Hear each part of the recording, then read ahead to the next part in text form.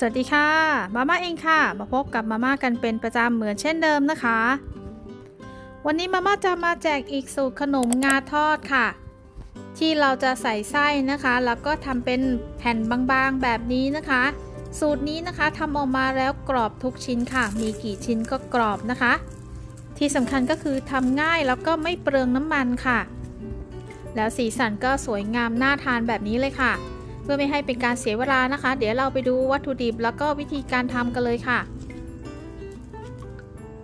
ก่อนอื่นเลยเรามาดูวัตถุดิบที่เราจะใช้ในการทำไส้ขนมกันก่อนค่ะ ก็จะมีกระปนน้ำกะทิ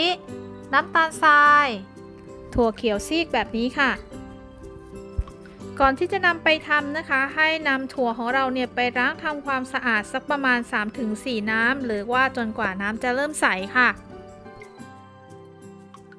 เสร็จแล้วนะคะให้เตรียมน้ำร้อนจัดค่ะ เทลงไปแบบนี้นะคะแล้วก็แช่ถั่วเขียวซีของเราเนี่ยเอาไว้จนกว่าน้ำจะเริ่มเย็นลงค่ะ พอน้ำเริ่มเย็นลงนะคะ ถั่วของเราเนี่ยจะเริ่มบานขึ้นเล็กน้อยค่ะ เป็นวิธีกิทางลัดแบบง่ายๆ ที่เราไม่ต้องแช่ถั่วนานนะคะ จากนั้นนะคะนำไปเทเอาน้ำออกค่ะ แล้วก็เตรียมซึ้งนะคะนำถั่วเหลืองของเราเนี่ย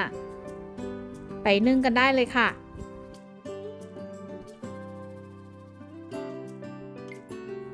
ก่อนจะทำการนึ่งนะคะ เกลี่ยกระจายถั่วเล็กน้อยนะคะ เพื่อจะได้ทำให้ใช้เวลาสั้นลงในการนึ่งค่ะ เราจะใช้เวลานึ่งอยู่ที่ประมาณ 20 นาทีค่ะ หรือให้สังเกตดูนะคะว่าถั่วเนี่ยบานขึ้นนะคะ ได้ประมาณนี้ก็ใช้ได้แล้วค่ะ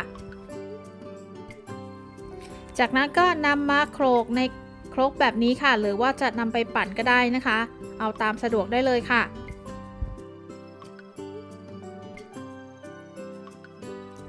ให้เพื่อนๆโขลกจนกว่าถั่วเนี่ยจะละเอียดเลยนะคะ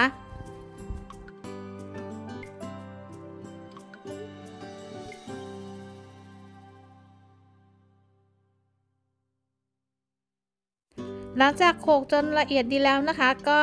นำใส่กระทะได้เลยค่ะ เดี๋ยวเราจะนำไปผัดผสมนะคะ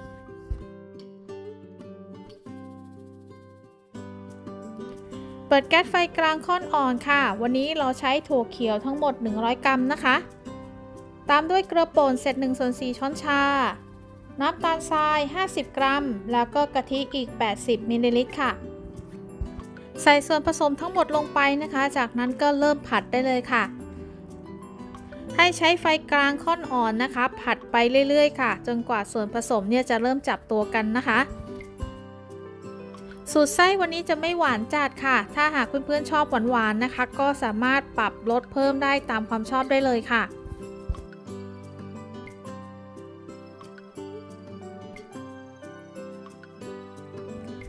หลังจากผัดมาสักครู่หนึ่งค่ะ ไส้ขนมของเราก็เริ่มจับตัวกันเป็นก้อนนะคะ ได้ประมาณนี้นะคะ ก็ปิดแก๊สได้เลยค่ะ เสร็จแล้วก็ให้เพื่อนๆ พักเอาไว้นะคะ จนกว่าไส้ขนมเนี่ยจะเริ่มเย็นค่ะ ในระหว่างรอไส้ขนมเย็นลงนะคะ เรามาดูส่วนผสมของแป้งค่ะ ก็จะมีแป้งข้าวเหนียว น้ำมันพืช เกลือป่นน้ำตาลทราย แล้วก็นมสดรสจืดที่จะนำไปอุ่นจนร้อนจัดค่ะ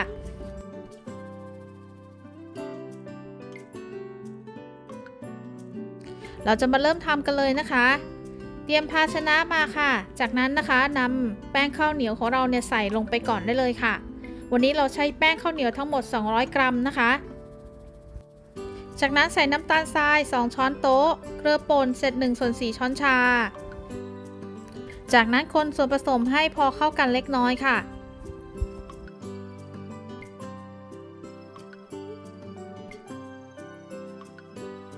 จากนั้นเทนมสดรสจืดลงไปค่ะ ที่เราจะอุ่นให้ร้อนนะคะ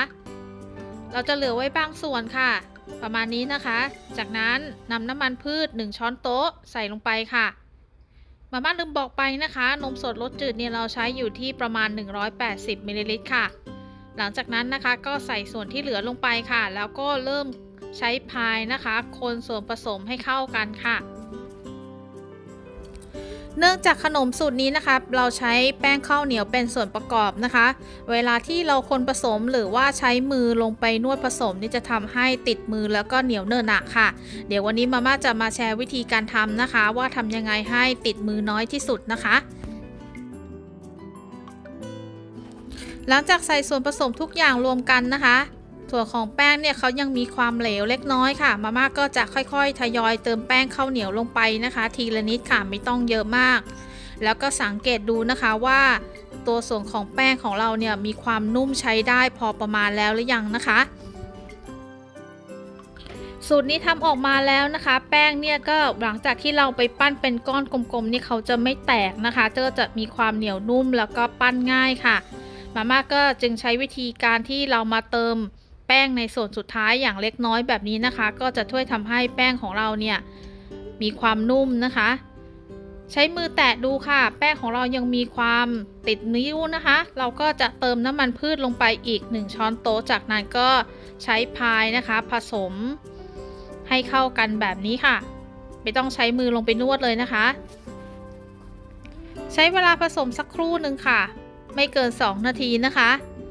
สังเกตดูว่าแป้งของเราเนี่ยแล้วก็น้ำมันนะคะ เริ่มเข้ากันดี ไม่ถึงกับซึมเข้าสู่แป้งนะคะ ประมาณนี้ค่ะ เรียกว่าไม่ติดภาชนะ หรือว่าติดภาชนะได้น้อยลงนะคะ ใช้มือจับดูค่ะเขาก็จะติดมือได้น้อยลงประมาณนี้นะคะ ก็ใช้ได้แล้วค่ะ ผสมแป้งแบบนี้นะคะ นอกจากจะเวลาเราปั้นเนี่ยไม่ติดมือแล้วนะคะ แล้วก็ไม่ต้อง ใช้มือลงนวดแล้วนะคะ ก็เวลาที่เรานำไปคลุกกับงานนี่เขาก็จะติดงานได้ง่ายด้วยค่ะ เสร็จเรียบร้อยแล้วนะคะ จากนั้นก็ทำการพักแป้งไว้ก่อนนะคะ สักประมาณ 10 นาทีค่ะ หลังจากที่ไส้เริ่มเย็นตัวลงนะคะ ก็ให้นำไส้นะคะมาปั้นเป็นก้อนกลมๆค่ะขนาดนี้เอาตามชอบได้เลยนะคะ ถ้าอยากได้ไส้เยอะๆนะคะ ก็ให้ปั้นเป็นก้อนใหญ่ ๆ ค่ะ ถ้าชอบไส้น้อยก็ปั้นเป็นก้อนเล็กๆนะคะ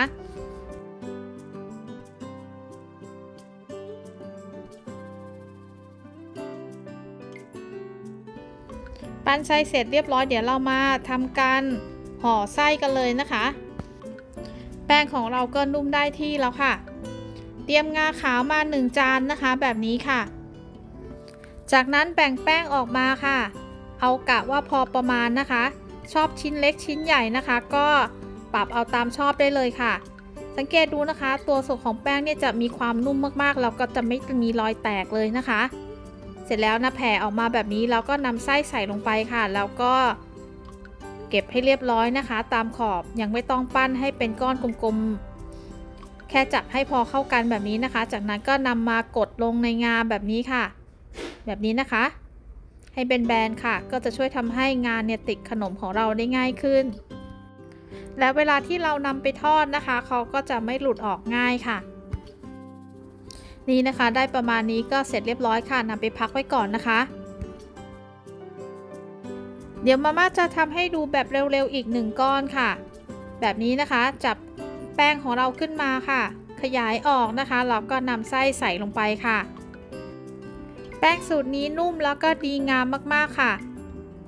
ขนมสูตรนี้พอเรามาจับทำเป็นแผ่นแบนๆนะคะ โดยที่ปกติขนมงาทอดเนี่ยเขาจะปั้นเป็นก้อนกลมๆนะคะ เวลาที่เรามาจับทำให้เป็นแผ่นบางๆ แบบนี้ก็จะง่ายกว่าการปั้นเป็นก้อนกลมๆค่ะ เพราะว่าการปั้นเป็นก้อนกลมๆ วิธีการทอดนี่ก็จะเปลืองน้ำมันกว่านะคะ แล้ววิธีการนำมาจับเป็น ห่อไส้แบบนี้นะคะ เราก็จะจำเป็นที่จะต้องห่อให้บางไว้ค่ะ แต่สูตรนี้จะต้องทำแป้งหนาๆไว้ก่อนนะคะ เพราะว่าหัวใจสำคัญที่จะทำให้ขนมบางแล้วก็กรอบนะคะ อยู่ที่วิธีการทอดด้วยค่ะ ซึ่งเดี๋ยวขั้นตอนต่อไปมาม่าจะมาบอกวิธีการทอดให้นะคะ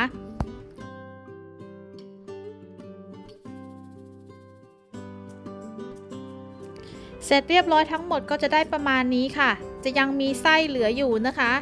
ก็เพื่อนๆสามารถทำแป้งเพิ่มได้นะคะ ขั้นตอนและวิธีการทำก็ง่าย ๆค่ะ วิธีการทอดนะคะก็ทำแบบง่าย ๆค่ะ ใช้น้ำมันไม่เยอะนะคะ ประมาณเท่านี้เองค่ะ แล้วก็นำขนมใส่ลงไปนะคะ ในระหว่างที่น้ำมันเนี่ยเริ่มอุ่นค่ะ เราจะใช้แก๊สไฟอ่อนนะคะ ในการทอดขนมค่ะ ถ้าเราใช้แก๊สไฟอ่อนนะคะ แล้วก็หมั่นพลิกขนมไปเรื่อยๆ จะทำให้ขนมของเราเนี่ยมีความบางแล้วก็กรอบนะคะ แล้วก็กรอบได้นานค่ะ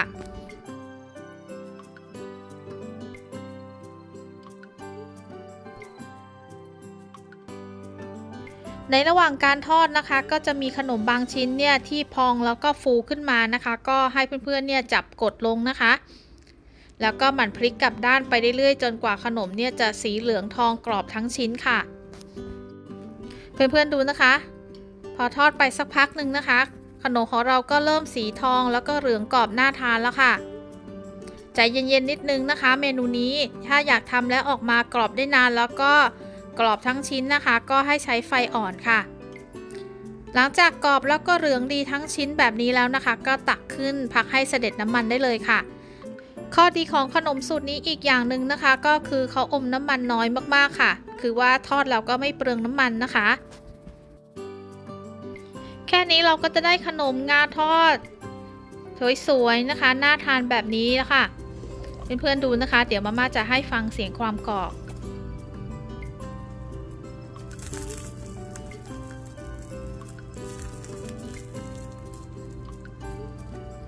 นี่นะคะ ขนาดมาม่าจับแป้งขึ้นมานะคะแล้วก็ค่อนข้างจะมีความหนาแต่ว่าถ้าเราใช้วิธีการทอดแบบนี้นะคะ แป้งก็จะออกมาบางกรอบแบบนี้ค่ะ แล้วก็อร่อยมากๆ เป็นอีกสูตรขนมสูตรหนึ่งนะคะ ที่ทำง่ายแล้วก็อร่อยเข้มข้นมากๆเลยค่ะ ยังไงนะคะ ถ้าหากเพื่อนๆสนใจก็อย่าลืมไปลองทำตามกันดู แล้วมาม่าก็ขอฝากเพื่อนๆ กดไลค์กดแชร์ออกไปเยอะๆนะคะ จะได้มีเพื่อนๆเนี่ยมาสนับสนุนช่องของมาม่ากันเยอะๆค่ะสำหรับคลิปนี้มาม่าต้องขอตัวลาไปก่อนนะคะ เราพบกันใหม่คลิปหน้าสำหรับวันนี้ สวัสดีค่ะ